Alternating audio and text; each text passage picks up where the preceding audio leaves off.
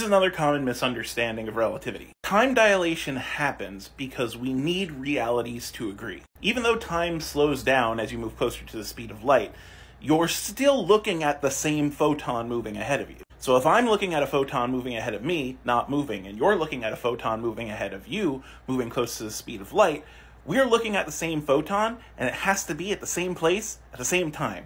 Reality has to agree. And the only way for reality to agree is if your time moves slower. That way, no matter what perspective you're looking at it, the same thing is happening. If a photon experienced no time, then that would not agree with us looking at the photon experiencing time. At that point, two realities would disagree, and that's not how physics works. The stuff, the moving stuff that happens, has to agree.